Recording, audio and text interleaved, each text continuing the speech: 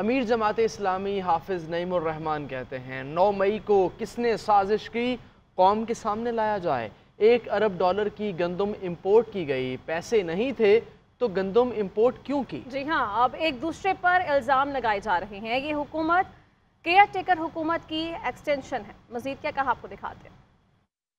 माजी और अब में फ़र्क ये ये है कि सोशल मीडिया ने इनकी तमाम साजिशों को नाकाम कर दिया। लेकिन आप इसी सोशल मीडिया को इंसानियत के लिए, दीन के लिए, आप पाकिस्तान के लिए और उम्मत के लिए, मजलूम इंसानों के लिए, जालिम निज़ाम के खिलाफ आप इस्तेमाल करें और प्रॉपर तरीके से करें।